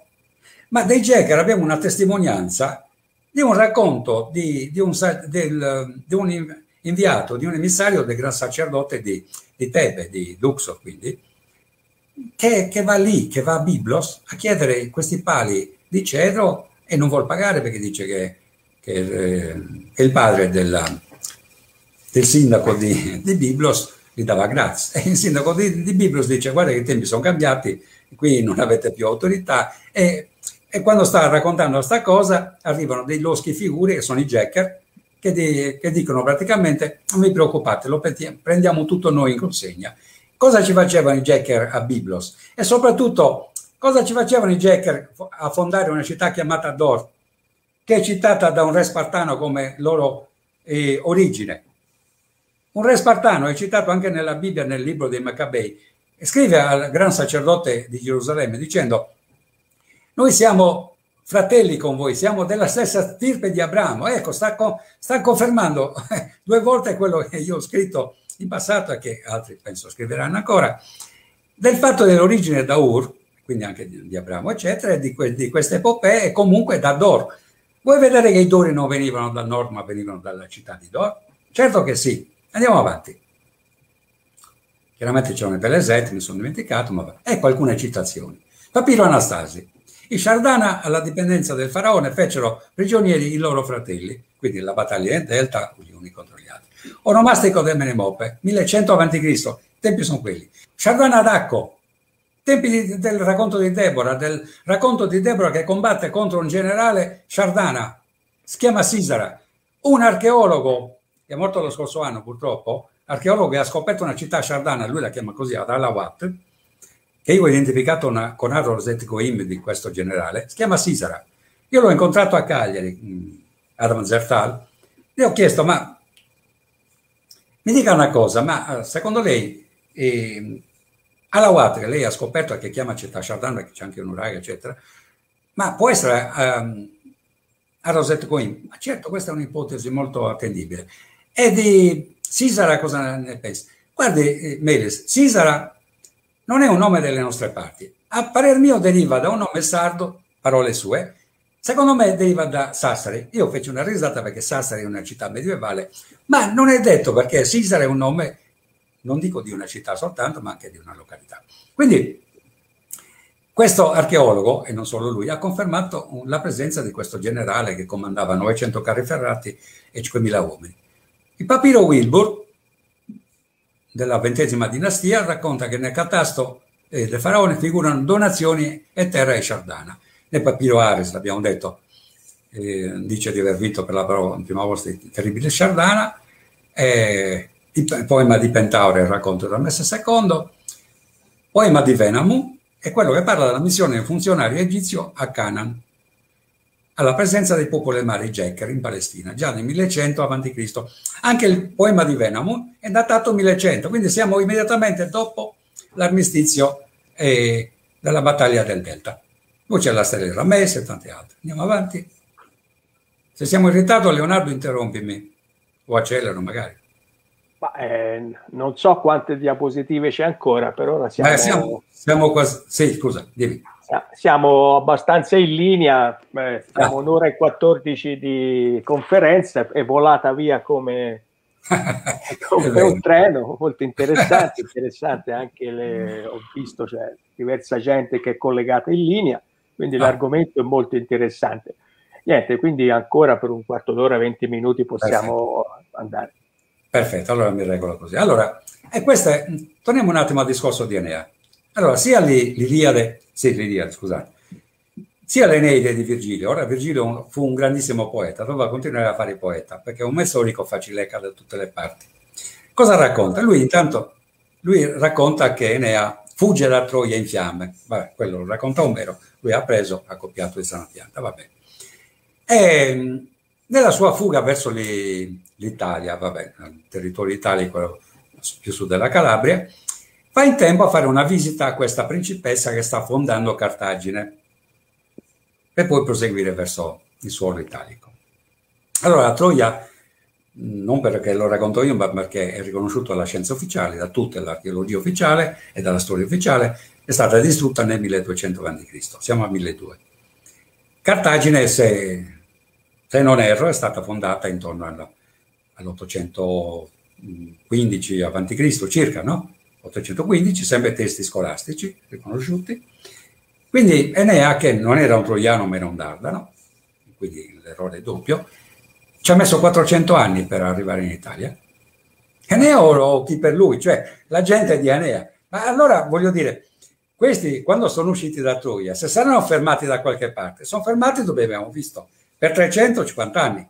Poi pian piano alcuni di loro, quasi contemporaneamente, devo dire intorno all'VIII secolo, tornano tutti nella, nei mari dei loro padri, nelle terre dei loro padri, l'Italia. Quindi Enea, o chi per lui, non torna direttamente da Troia in fiamme, ma tornerà nel, nell'VIII secolo circa Cristo, così come la principessa che fonda Cartagine, che non è, che non è una Fenicia, è una Libu, Ecco perché fonda Cartagine, perché torna a casa dei, dei suoi padri anche lei. Perché a Tiro c'erano i Libu. Io no, in quella cartina mi sono dimenticato di citare i Libu, e che abitavano Tiro. Ecco perché si parla della principessa Tiro. Andiamo avanti.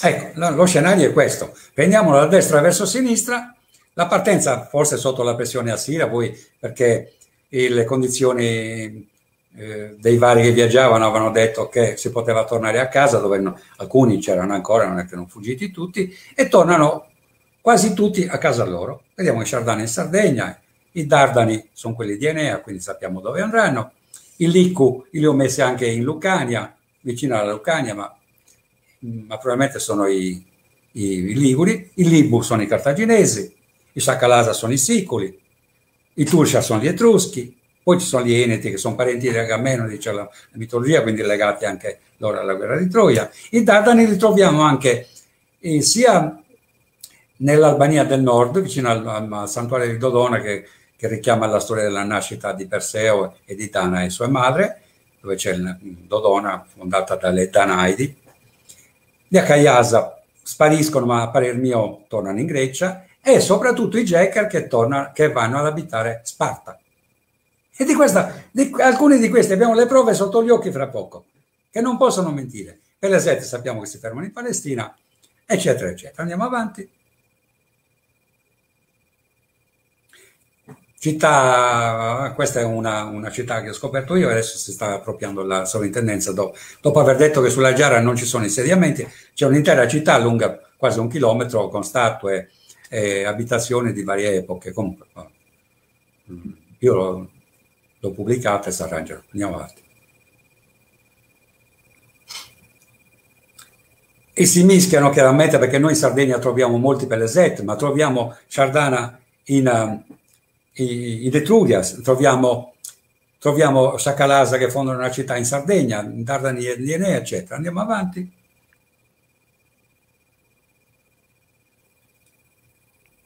Sardus Pattare è un Pelleset.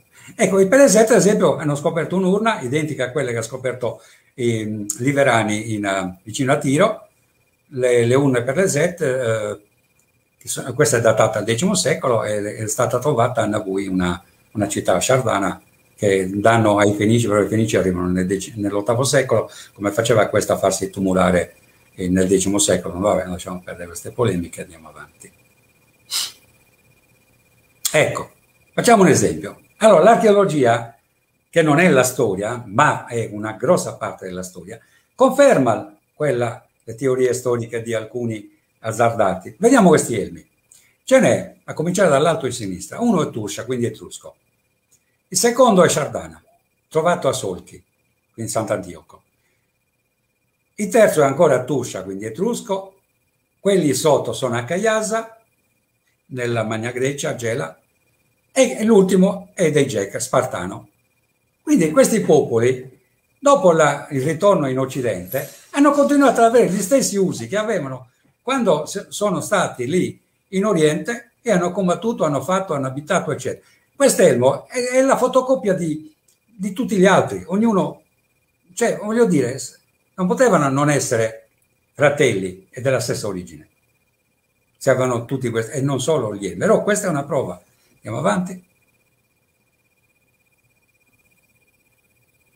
La presenza de, dell'Egitto in Sardegna, gli adesso sono in Egitto, quello a destra l'ho trovato alla sovrintendenza, è alto circa 10 cm, il Museo di Cagliari, e quello a sinistra eh, l'ho scoperto io nel Museo di, di Cabras, è spezzato, è uno JED a quattro piani, quindi prima di Cristo, è datato, è diviso in quattro. È buttato lì, ancora, sono stato lì la settimana scorsa, mm, volevo fotografarlo, ma hanno detto non si può fotografare, ma io le foto le avevo già fatte, l'ho pubblicato su Shardana, la Bibbia degli Urim, mm, ho detto di cosa si tratta. Andiamo avanti. Ci sono delle stelle, addirittura questa è una triplice invocazione in geroglifico alla triade di Tebe. Amo uh, Mut e, e Consu, il figlio. Questa sarebbe per loro, parlo sempre degli archeoboni, opera di un fenicio che venendo in Sardegna passò di striscio in Egitto, imparò l'arte dei geroglifici e poi scolpiva questa stella, cioè geroglifici li impari nei fine settimana prima di arrivare con l'aereo in Sardegna. Andiamo avanti che mi viene da piangere. questo, questo, è un regalo che faccio per i fratelli etruschi. Leonardo, eh, non arrabbiate, però questo lo scrive Festo. Allora, Festo, allora, questo è uno scritto di Festo, scrittore ah. romano. Sai che i, re romani erano lugumoni etruschi. E Festo nei Ludi Capitolini dice due frasi, su una non sono completamente d'accordo, ma la prima di, dice chiaro, Regge soliti sunt esse Etruscorum, sono soliti essere re degli Etruschi, qui Sardi appellantor, apriti cielo, Sardi sta per la città di Sardi. Ma scusate, io ho fatto il latino costretto perché ho fatto il classico, ma parlavamo in latino a scuola, quindi il latino lo conosco bene, lo conosco nelle varie declinazioni, coniugazioni dei verbi, che so che alcuni verbi ne hanno diverse e so che appellantor è un plurale, è una terza persona, persona plurale, non è, non è, Sardi la città che è terza persona singolare. Appellantor, cioè si chiamano Sardi, loro stessi si chiamano Sardi. Ma eh, Festo continua anche con una frase molto azzardata su cui non sono d'accordo. Dice, qui a Etrusca gens Orta est Sardibus, urla. Onde per cui la gente etrusca è nata dai Sardi, non sono d'accordo, perché erano fratelli, nessuno è nato da nessuno, erano fratelli. Però gli scrittori romani azzardavano queste cose. Ma perché? Perché alcuni, molti bronzetti, come quello che c'è rappresentato eh, disegnato, eh, sia a destra che a sinistra, e in un museo etrusco. Molti, molte tombe di principesse sarde trovate lì, viceversa in Sardegna, all'isola di Teolada, ho trovato una montagna di ceramiche etrusche. Quindi c'era questo. La zona occidentale della Sardegna, la zona di Zarros, ha tutti i nomi etruschi, perché Tirs, torniamo a, a quello che c'è nella stella di Nora, Tirs vuol dire sia Tiro, sia Tursa, quindi Etrus, sia Tarros, sia Tirso, sia Tiria, sono tutti nomi che noi troviamo lì. Andiamo avanti di corsa, sto parlando troppo. Era una curiosità. È una scrittura dei popoli del mare riconosciuta dall'Accademia dei Lincei, è stata trovata a, nel Gen Argento, scrittura sciardana, scrittura, scusa, scrittura dei popoli del mare, in questo caso nel Gen Argento è sciardana. E Giovanni Garbini, un noto orientalista, l'ha riconosciuta come scrittura dei popoli del mare. Anch'io l'ho riconosciuta, lo so leggere, però dice che Filistea, ah, santo cielo, vabbè che c'erano, questo scambio c'era, ma se la trovi in Sardegna, per prima cosa di che è Sardana, poi vediamo se è anche Filistea, andiamo avanti. E qui c'è eh, colui che attribuisce la scrittura alfabetica ai popoli del mare, Sir Leonard Woolley, lo scopritore di Ur e del diluvio universale, quello raccontato dalla Bibbia, eh, scoperto nel cimitero di Ur, amico di Lawrence d'Arabia, ma anche di di una grande scrittrice inglese il cui marito era un egittologo, importantissimo per il Ramesseum, ma non posso parlarne oggi perché siamo in ritardo, ma comunque era una cricca, Agatha Christie, Lawrence d'Arabia, Sir Leonard Woolley, io ho mangiato al loro tavolo a Luxor, quindi mi hanno detto che era il loro tavolo, il ristorante, vabbè, andiamo oltre, andiamo oltre, ecco, stiamo in, in, terminando, questa è la famosa stella di Nora a destra, dove c'è la scritta Bissern, che io ho interpretato come Padre o babbo, anzi babbo, babbo si usa in Sicilia, in Sardegna e in Toscana soltanto, sarà una, una combinazione, padre il latinismo. E la scritta Büsserd è provata perché adesso questa è esposta nel, nel Museo di Cagliari, c'è scritto in Sardegna, la traduzione di Büsserd. Io posso provare stasera che ha ragione Leonardo Messi. Il coccio che c'è a fianco è una mia scoperta di un coach che loro hanno buttato in un magazzino al Museo di Sassari scoperto a Pozzo Maggiore. C'era scritta Shurden e altre scritte come l'Alef, la, la scrittura sinaitica del, quella che ho trovato nei Sinai, il grande Manuela Nati. Andiamo avanti. Ho dei testimoni al di fuori di ogni sospetto. Passi per il canonico Spano, che è il padre dell'archeologia sarda, che ha interpretato la stella di Nora e dove sta scritto in latino eh, giù a sinistra, se lo vedete, poi ho fatto la traduzione approssimativa. Questo abbatte Harry l'ha tradotta e dice che, va tradotto in questo modo,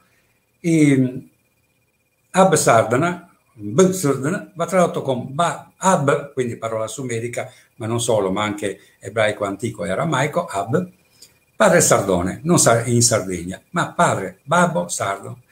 Fece vela verso Tarsis, ecco un altro Tarsis, anche Tarsis, lasciando questa stella scritta in Nora, cioè scritto così. L'ho pubblicato in uno dei miei ultimi libri. Possiamo andare avanti?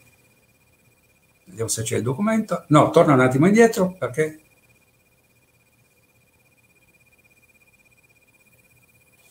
Allora, il canonico Spano riporta questa, questa scritta a una prova fornita, mm, purtroppo non, non, non te l'ho mandata alla slide, ma c'è una statua che scoprì un noto personaggio, noto non a livello sardo, ma anche e soprattutto sardo, ma livello, perché c'era il regno di Sardegna, ma a livello italiano e non solo, il generale della Marmora, che era un, un studioso della Sardegna, scoprì questa statua dove, che era la statua che i sardi inviarono al santuario di Delfi nel IV secolo 400 a.C., se non ricordo, e dove c'è scritto alla base della statua c'è scritto Bülsurden, la stessa parola scritta in, um, in lingua dei popoli del mare, alfabeto antico, e quindi lui conferma il generale della Marmora e conferma ancora il canonico spano questa frase, cioè Bülsurden, ab Sardan, quindi padre, padre Sardan, Sardus Pater,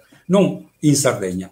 Mi dispiace, ma è così. E, no, e questi due testimoni penso che, che, siano sufficienti per quanto io ho scritto e per quanto io ho dibattuto. Grazie, vi ringrazio della pazienza. Io mi bevo un bicchiere d'acqua. Grazie. Allora, eh, cioè, noi abbiamo ancora diverse persone che ci stanno ascoltando, possiamo dedicare qualche minuto se ci sono eh, delle domande. Io ho una domanda eh, eh che mi parla di un accenno all'ottavo libro dell'Odissea da dire qualcosa in, in particolare qui, Leonardo? Eh, bisogna vedere che cosa sull'ottavo libro. Eh. Perché l'ottavo libro racconta diverse cose, ma che cosa sull'ottavo libro? Eh, se, vediamo ah. se è ancora in linea Gianfranco, se vuol farci questa richiesta. Una precisazione, lo ringrazio, sì. Ecco. Poi c'è Diana, carissima amica, che dice che Erodoto nelle sue storie parla di una circoncisione. Sì. Certo, ne parla, non so se l'ho, se l'ho fatta, l'ho mostrata un attimo, ma non ho spiegato la questione di Erodoto, perché Erodoto parla dei colchi e dice che venivano dall'Egitto e praticavano la circoncisione. Il loro lino era bello quanto quello dell'Egitto, ma il loro lino era chiamato sardonico. Ora i colchi, noi sappiamo chi sono, abbiamo, ricordiamo gli argonauti, il velo d'oro. Il velo d'oro io ho trovato, ma in un altro libro, in, altre, in altri scritti, eccetera, di cui non parliamo adesso, ma il velo d'oro, avrei dovuto fornire la, la slide, era, era, molto interessante, il velo d'oro è il bisso. L'antico bisso che forniva gli erano, di cui era composto l'abito del gran sacerdote o del faraone, è un tessuto d'oro che viene dal mare, da una conchiglia del mare. L'unica tessitrice, o comunque l'ultima sopravvissuta tessitrice di bisso, che mia amica comunque eh, che dice di essere discendente della tribù di Dan, mi ha riconosciuto senza, senza che mi conoscesse, e abita a Sant'Antioco, è invitata dal Papa, è invitata in tutto il mondo per parlare di questo bisso, di, che lei pesca, non so se ancora pratichi la, le, le, i tuffi per andare a pescarla, riesce a pescarla senza uccidere la conchiglia, è l'unica che riesce a farlo fino ad oggi, e, e, lo, e tesse questo bisso. È un, filuto, è un filo d'oro, filo d'oro, è, è, oro. Era molto più raro della porpora. Il costruttore dell'arca, Oliab di Dan, era un tessitore di bisso, un tintore di porpora, 400 anni dei cosiddetti felici, eh, intagliatore, eccetera, e costruisce l'arca. Oliab di Dan, uno della tribù di Dan quindi tessitore, anche il bisso era ecco, presente. Ci ha risposto Gianfranco, la nave che Alcino da Ulisse per tornare a Itaca. Ah, questa è bella, lo sospettavo. Forse ha colto la mia, la mia curiosità di, quelle due imbarcazioni, una egizia e una dei popoli del mare, in particolare penso Sciordana, sulla faccenda del timone, e, non aveva né timone né timoniere. Noi l'abbiamo ricostruita in Sardegna, l'ha ricostruita un, un noto ingegnere. La, Omero dice che le navi dei Feacci vanno per il mare senza timone né timoniero, né timoniere, ma col pensiero dell'uomo. Questo più che alla vela è dedicato al fatto della scoperta della bussola con l'aiuto dell'ingegner Mario Pinkerle. I Chardin e i popoli del mare avevano una bussola installata a bordo nella prua, che è menzionata anche nella storia degli Argonauti e di altri. L'ha ricostruita Mario Pinkerle e io poi ci sono andato appresso rifacendo la storia sui popoli del mare, eccetera. E, insomma, cioè, eh, ecco, questa citazione riguarda le navi, le navi dei Chardin nel, nel, Delta. Sì, certo, il libro ottavo. Non hanno bisogno di timone né di timoniere, ma vanno col pensiero dell'uomo. È una nave speciale, comunque. Navi speciali. Navi Grazie. speciali, per popoli speciali, come sono Popoli speciali. Eh, vediamo se c'è qualche altra domanda. Eh, aspettiamo un attimo. Quello che volevo dire è che io eh, approfitto eh, della presenza di Leonardo, dell'amico Leonardo, per invitarlo a farci qualche altra bella qualche be- altro bel racconto, specialmente su Mosè, anche una cosa molto interessante, se è disponibile per un'altra puntata eh, che parla di Sciardana, che parla di storia del Mediterraneo. Noi siamo ben disposti eh, qui c'è Chiara Vigo che dice Chiara Vigo la grande maestra di Bisso non lo dice lei, lo dice Giovanna Bonino ho letto il, sì, sì, Giovanna Bonino sì. grazie Giovanna Bonino. Senti sempre Chiara si arrabbia perché io nel primo libro la chiamai Maistu al maschile. I Maistu sono i grandi saggi che insegnavano l'arte ai discepoli come nel Rinascimento è, è molto più antico. Lei ha assunto questo titolo di Maistu e chiede di essere chiamata Maistu, che sta per maestro nel senso antico della parola. Sì, chiara, chiara Perfetto. Eh, vabbè, c'è, eh, c'è un'altra eh, diciamo precisazione, ma hai risposto eh, prima con che aveva un'abilità assoluta e qui, qui parla di Fenici. Posso, ma posso, rispondere, posso rispondere, posso rispondere, Prego. Mi, mi dà lo spunto per un'altra cosa. Io durante la, la trasmissione non ho voluto affrontare l'argomento, ma i fenici non esistono, o meglio, esistevano dei popoli che i greci chiamarono fenici pelle rossa, poche parole, e purtroppo nel ventennio il Ministero alla Cultura, si chiamava Mincul Pop, sembra una parolaccia, vietò tutti i testi che non fossero greci o romani, quindi non abbiamo queste informazioni. Ci dobbiamo sorbire i fenici ancora un po' di tempo. Ma i fenici erano i popoli del mare di ritorno. Ciardana, Sacalasa, che tornavano a, a Palermo, a, a, a Mozia, a Taros, a Cagliari, a Olbia, eccetera. Così. Fenici è un'invenzione dei greci. ok, eh, io direi che ci siamo, eh, possiamo concludere la nostra conferenza, che è stata una conferenza bellissima su questa connessione tra i popoli del Mediterraneo, tra gli egizi, è stata una, veramente una molto interessante perché eh, questa connessione è veramente una cosa eh, fantastica anche per noi come Armachis, eh, perché porta avanti questo progetto di connessione dei popoli mediterranei fino ad arrivare alla, nostra, alla cultura occidentale, insomma, quindi è un progetto ambizioso, ma anche grazie a Leonardo che stasera ci ha dato eh, ancora delle informazioni. Eh, aspetta un attimo che c'è Diana, carissima amica che è molto attiva eh, con l'argomento pure, Agata, Urbi, Rubio, grazie mille. è, un, fiume in piena, eh, quindi... Beh, possiamo accennarle quando parliamo di Mosè, se, se me lo ricordate. Bravo, bravo, bravo. Eh. Niente, io allora direi che eh, ringrazio Leonardo per la disponibilità, per la comprensione, eh, grazie Antonella eh, per la eh, professionalità e soprattutto per la capacità esplicativa che ha, che è veramente appassionante, quindi eh, è data sicuramente dalla, dall'amore per eh, questo argomento senza nessun problema. Grande saluto dalle Orlando, eh, grazie a te. Un'altra, ah, è un'altra tua conterranea, eh, mi pare. Sì, sì, dall'Irlanda vedo, dai tua ah, Taledana. Quindi io direi che possiamo salutarci. Eh, saluto Leonardo. Fate bene, saluto tutti. Saluto Sal- Sardana. Saluto, saluto il nostro pubblico, saluto a chi ci ha seguito così, diciamo, a modi appassionati, anche costante. Devo dire che non si è allontanato nessuno, dai, anzi sono arrivati in più, vuol dire che l'argomento è piaciuto e, e, il relatore non fa dormire, quindi è una cosa molto importante.